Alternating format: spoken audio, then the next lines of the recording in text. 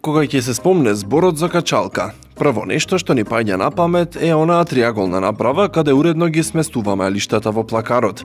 Но исто така, тоа може да биде и направа со неколку куки за закачување алишта, организирање на алати или прибор за јадење, а може да биде изработена од дрво, метал, пластика и слично кога станува збор за закачалка. Интересен е диалектичкиот изговор на овој збор во Битола. Може би помладите не го користат толку тој збор, но повозрасните битолчани често знаат на место закачалка да изговорат креместаре. За да го потврдиме тоа, направивме анкета на широк сокак и ги запрашавме битолчани дали знаат што е креместаре. Еве што одговорија. Дали знаете што значи зборот креместаре на битолски? Како не знам? Што? Тоа е за облеку за да го весиш то сакото. А од кај доаѓа тој збор во битолски? Турски. Турски збор е? Да. Креместаре за, за обесвање на лишта придржувач. За качалка. За качалка, меѓутоа, уна поголемиот дел креместаре, не само за качалка. А зошто го викаат битолчани креместари од каде доаѓа? Не знам, искрено не знам. Не знам за.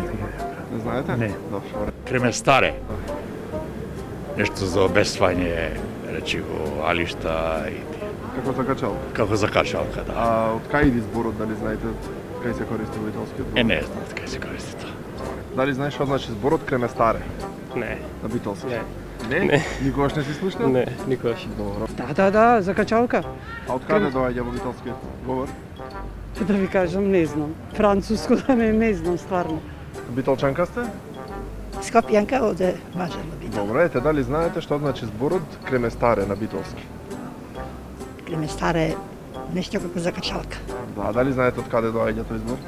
Веројатно турски, од и долго време бе по турски.